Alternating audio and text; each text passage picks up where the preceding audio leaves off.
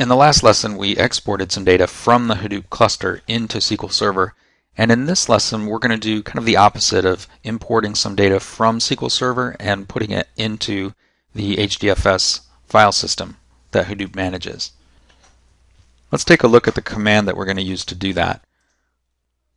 At the top of the script are just some housekeeping tasks to delete the data that I'm going to import so that I don't encounter file collisions and so on. The Sqoop command we'll use for that is very similar to the last one. The biggest difference is instead of export, we have the word import here. So our Sqoop command is Sqoop import. Then we specify the driver, we specify the connect string, which is a, simply a JDBC connect string. Then we have some specific commands like the table that we want to import, how to split this if the file gets so big that it needs to split into multiple files, how that should be done. And we say the surrogate key, which is a key in the database. Then we have a target dir, and this is going to be the directory within HDFS. So demo slash aworks actually is going to imply user Cloudera, so it's actually user Cloudera demo aworks, and verbose again so that we get a lot of output that we can look at on the screen.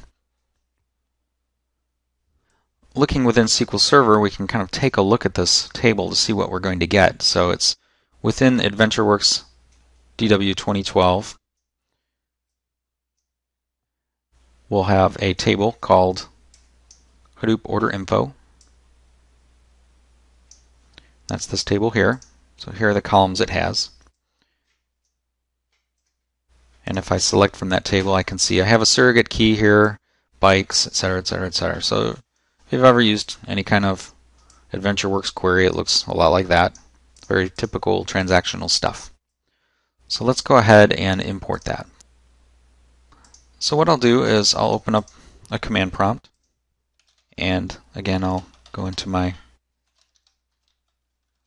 folder where I keep these tests and um, I'm gonna just a little housekeeping I'm just gonna delete this local file and I'm going to delete the output from cloud from HDFS in case it's there already. And that's HDFS remove the AWorks folder and everything that's in it. So I deleted it. I guess it was there.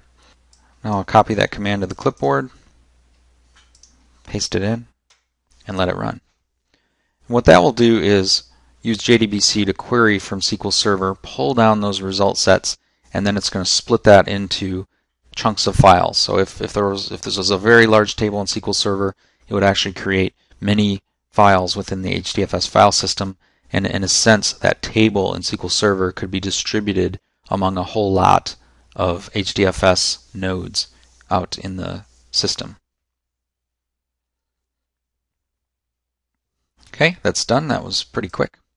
So if I look at what happened, I got my map, went to 100%, didn't bother telling me reduce was at 100%. It tells me something about my I.O. and data volumes and whatnot. That's the verbose. So if we go look at that in the HDFS system, it'll be in the demo AWorks folder.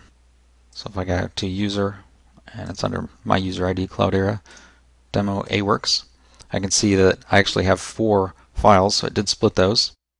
And let's say I look at the second one, I can see that that data from the SQL table has been loaded in as rows or as lines of a text file that are comma delimited. Now I can use that any way I'd like. If I want to write Python scripts or Java programs that are MapReduce, I can do that. Or since this data is pretty structured and has consistent column layouts, I actually could go ahead and create a Hive table within Hive and query that on the HDFS side if I want to.